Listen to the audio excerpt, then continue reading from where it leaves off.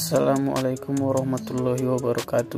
Sebelum masuk ke pembelajarannya, perkenalkan nama kakak Diki Aulia Lubis, mahasiswa Universitas Negeri Medan, jurusan Pendidikan Teknik Bangunan.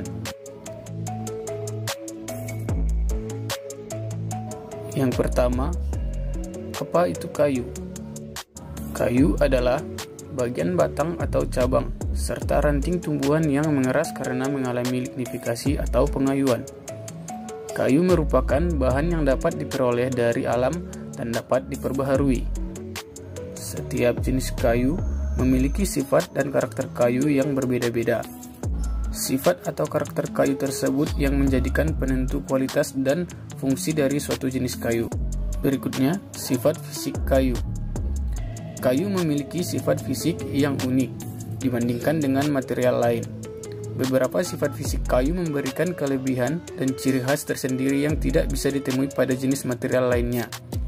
Sifat fisik kayu dapat digolongkan pada hal-hal berikut. Yang pertama, warna kayu. Warna kayu sangat penting untuk pemakaian produk secara dekoratif. Warna gelap atau terang akan menentukan jenis kayu bisa digunakan untuk produk yang terbuka atau jenis finishing yang akan digunakan. Di dalam satu lok kayu bisa terdapat warna yang berbeda, pada jenis kayu tertentu seperti akasia, jati, atau mahoni.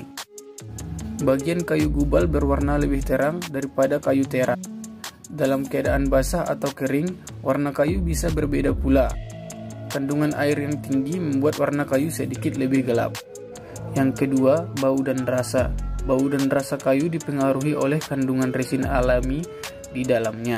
Kayu jati misalnya memiliki bau yang sangat unik karena kandungan wax di dalamnya. Bau dan rasa ini biasanya hanya terdapat pada kayu yang baru saja dibelah atau dipotong. Setelah beberapa lama, bau dan rasanya akan memudar. Yang ketiga, serat kayu. Kayu terbentuk dari ribuan pori-pori yang tersusun dari pertumbuhan pohon. Bentuk dan motif serat kayu yang terlihat tergantung dari metode pembelahan Arah serat pada pembelahan arah radial cenderung lebih lurus, dan pada arah tendensial akan cenderung lebih bergelombang. Pertumbuhan dan susunan lingkaran tahun juga menentukan bentuk serat arah serat kayu. Yang keempat, kepadatan kayu. Kepadatan kayu atau wood density berkaitan dengan jumlah kayu dan substansi di dalamnya tanpa air atau udara. Hal ini mengacu pada jumlah kayu per unit dibagi dengan volume kayu. Kepadatan kayu diukur dalam kilogram per meter kubik. Yang kelima, kekerasan kayu. Bagian penampang kayu memiliki tingkat kekerasan jauh lebih tinggi daripada sisi yang lainnya, tangensial atau radial, karena arah serat atau pori kayu. Dan kayu dengan kepadatan tinggi bisa diartikan pula sebagai kayu yang keras. Yang keenam, kadar air. Pohon memiliki pori-pori yang salah satu fungsinya untuk menyalurkan air dan sumber makanan dari akar menuju bagian pohon lainnya untuk tumbuh dan berkembang. Pori-pori tersebut yang membuat kayu yang bisa berkembang atau menyusut sesuai kadar air yang dikandungnya. Kadar air di dalam kayu dipengaruhi oleh kelembaban udara di sekitar kayu. Apabila udara sangat lembab, maka kadar air di dalam kayu akan meningkat dan akan membuat kayu mengembang.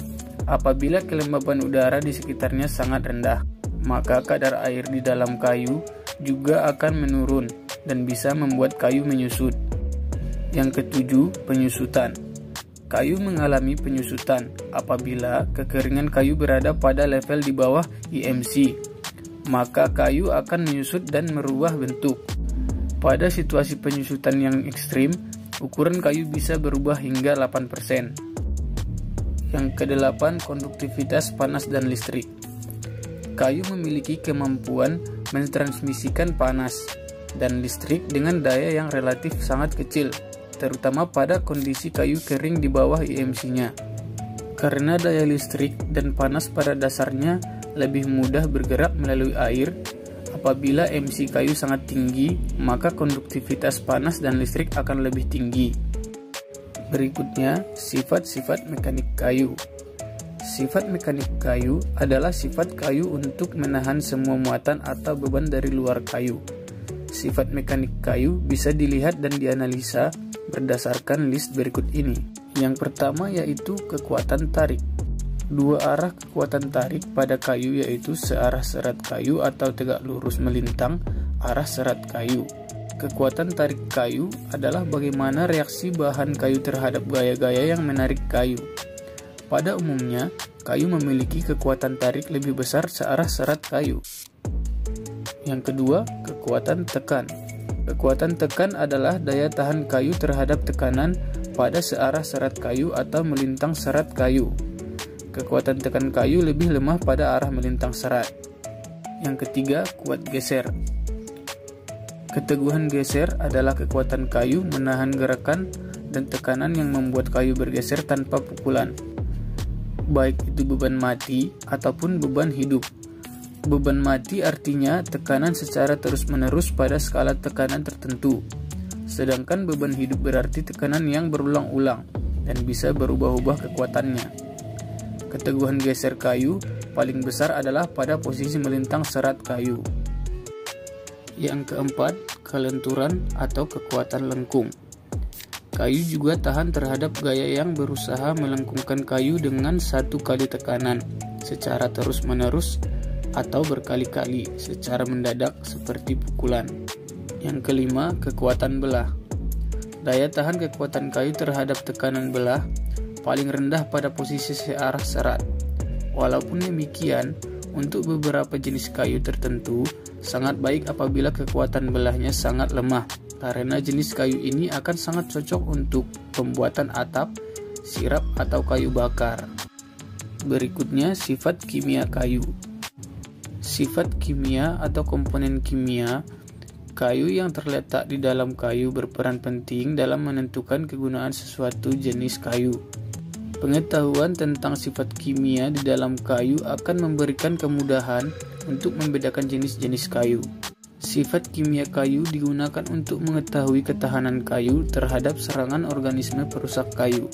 Selain itu, juga sifat kimia kayu menentukan pengerjaan serta pengolahan kayu sehingga hasil yang diperoleh menjadi lebih baik.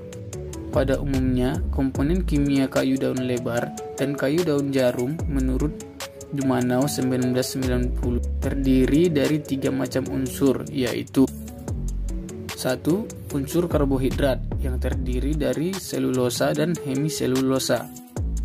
Dua, unsur non-karbohidrat yang tersusun atas lignin. Tiga, zat ekstraktif sebagai unsur yang terendap selama proses pertumbuhan kayu. Sifat kimia kayu dipengaruhi oleh faktor tempat tumbuh iklim dan letaknya di dalam batang atau cabang sehingga memiliki berbagai variasi. Sifat-sifat kimia kayu tersebut terdiri dari selulosa, lignin, hemiselulosa, zat ekstraktif, abu. Berikutnya mutu kelas kayu. Pengertian mutu kayu. Mutu kayu bisa didefinisikan sebagai derajat bagus dan tidaknya kayu menurut kriteria tertentu. Penilaian mutu harus bersifat objektif, Karenanya, kriteria yang dipakai pun tidak boleh subjektif. Misalnya kriteria mengenai keindahan kayu. Mutu kayu kelas A dan mutu kayu kelas B. Kualitas kayu sendiri sampai saat ini bisa dibagi menjadi dua, yakni mutu A dan mutu B. Mutu A Kayu dalam mutu A harus memenuhi syarat yang pertama maksimal 3,5 cm atau 1 per 6 lebar kayu maksimal yang kedua, lubang ukuran 1,5 sampai 3 mm, maksimal 2 lubang per 100 cm kuadrat.